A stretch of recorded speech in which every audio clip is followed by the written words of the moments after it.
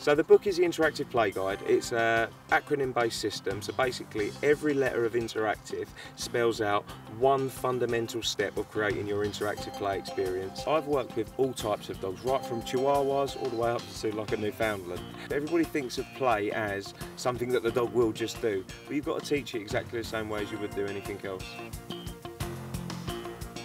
You've got to build your interactive play experience brick by brick. You're creating the experience. And the first thing that we're capitalising on is the dog's chase reflex. We've got to get that chase consistently before we get anything else. The dog has a natural ability to want to chase something. That's where the interactive play experience comes from. You've got to have the dog happy to chase an article to start with. So we're captivating on their natural, natural chase reflex. Once they're consistently chasing out and picking an article up, we can show them that the game is back with us. But we've got to get consistent behaviour with that and not sporadic performance. We are stuck in a nation of people that can't communicate with their dogs when something is more interesting over there. They become stimulated to the point, there's another dog, oh my God, I want to go over there and go to that other dog, I want to talk to them. And the handler's voice has no reference in a lot of cases because they haven't practiced communicating with the dog when it's in a heightened level of stimulation.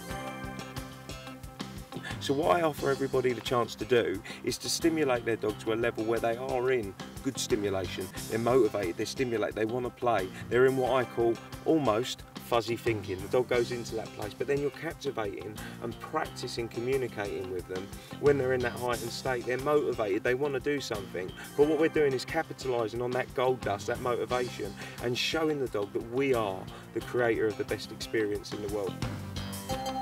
When dogs are highly motivated and they're pulling back into the toy and they're being boisterous and erratic, what everybody does is fight against them.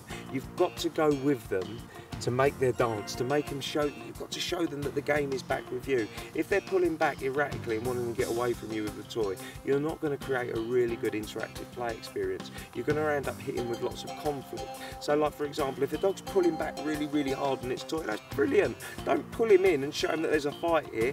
Go with him, make him feel big and strong. Let him win his toy and then use your body language to get the dog back into you to show you that this is where the game is. All of a sudden the dog realises, oh, the game's back with mum, the game's back with dad. It's not just with this article. You want to show the dog that the motivation and stimulation level is back with you. Agility, obedience, IPO, Mondio ring, working trials, or just your pet dog that's at the fire at night time has lots and lots of energy during the day. You want to build a better relationship with them and you want to be able to communicate with them in that heightened state of stimulation. It's practice, practice, practice.